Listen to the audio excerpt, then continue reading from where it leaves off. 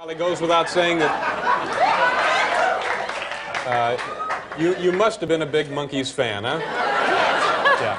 Uh, let's see, for, for everybody else who was not chosen, uh, do not be a despondent. We have uh, Monkees albums for everyone else who was not chosen. All right, now. Dollar, uh, dollar forty-seven in the clearance bins. All right, now, Esther, uh, oh, they've gone up, have they? Steady, uh, David. Bill Wendell, uh, where uh, is our happy couple going to spend their dream date? Dave, Peter, and his date will be whisked off to Rockefeller Center's snazzy Green Room in the heart of New York City, New York, where they'll watch a taping of America's fastest growing late night show, Late Night with David Letterman. Very exciting. We're just going. All right, uh, yeah, Esther uh, and Peter, if you come on over here, uh, I know you uh, have a lot to talk about. We're uh, going over to the dream uh, date of a lifetime. Thank you, Bill. Here in the Esther, this is the green room. Where are you from? Uh, Florida and Florida? St. Louis. Florida and St. Louis. At the same time? All right. I think Esther's done some time. Now, just come on in here. This is our actual green room. Have a seat there, Esther, if you will. And uh, Peter, over. Uh, let me introduce you to your. Here, let me help you with that. Here you go. Have a seat. Let me introduce you to your chaperone uh, for the evening. This is Larry Bud Melman. And uh, Peter, sorry, did you have a, a flower for uh, Larry Bud? Oh, uh, Peter. There you go, Esther. We have It's uh, going to be my pleasure to.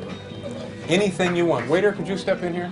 Uh, see to it that these folks get the best of everything and go ahead and put it on my tab. And, and nothing is too good uh, for you folks tonight. Congratulations, Esther. Uh, we'll be checking back with you during the course of the evening. Peter, nice to see you. We'll be talking with you a little bit later. Fried chicken is good enough. Whatever you no want. limit, huh? Have a nice time. And uh, there will be photos and a souvenir album after all of this is over. Uh, my heart is thumping a mile a minute. We're going to pause now, but we'll be right back with Joe Piscopo. Very nice, Esther. Very nice, Peter.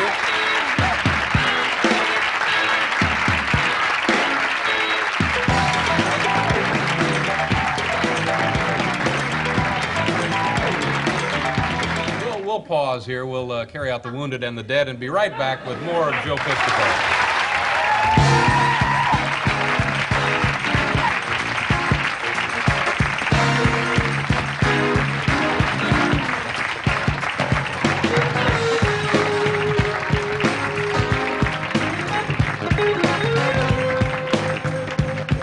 I guess when you wake up tomorrow, this will all seem like a dream.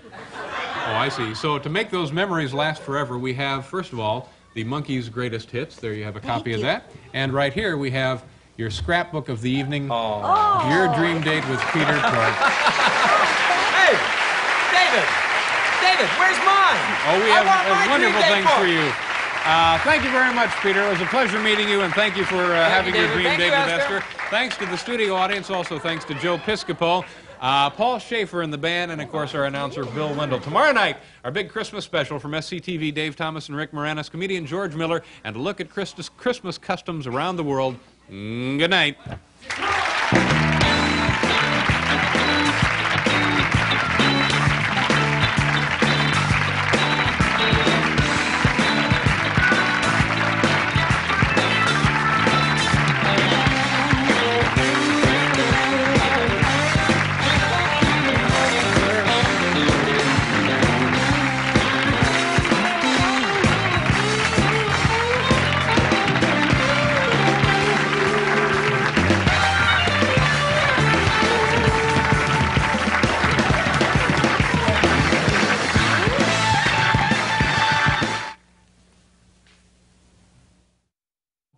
For months now, we have been trying to convince you folks that the viewer mail we read on our program is actual, valid, genuine mail from legitimate, bona fide, unretouched viewers.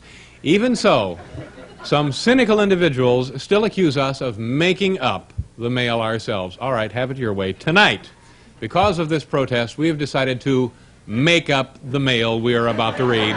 The first time ever, this is bogus mail written by members of our bogus staff. I hope you're satisfied. Phony letter number one. Dear Mr. Letterman, it says, as the newest writer on your show, I wanted to let you know how happy I am to be on the staff and to tell you how much I've enjoyed my first two months here. That's very kind. There is just one thing that would really make the whole late night experience complete for me. Do you think I could meet you sometime? I see the show every night, and it would really be a thrill. I hope this is no trouble. Yours truly, and I hope I pronounced this name correctly, Steve O'Donnell. Steve O'Donnell. All right. Well, uh, is he over there? Is Mr. Which one? Is that Steve? Sure. Come on over, Steve. Nice to meet you. Have a seat if you will, Steve.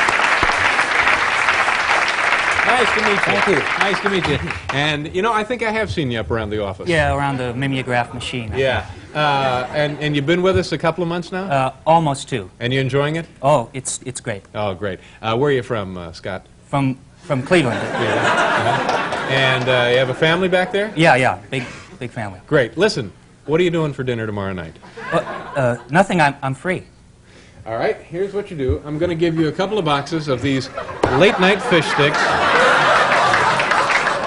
There, there's, there's 12 to a box. There you go, right there. And uh, I think there's instructions on the back. I want you and your family to enjoy those. Oh well. Uh, Thank you very much. Nice meeting you, Steve.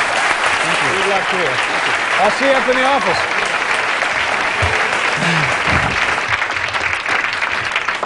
Little Scotty O'Donnell from Cleveland, Ohio. Nice to meet you. Uh,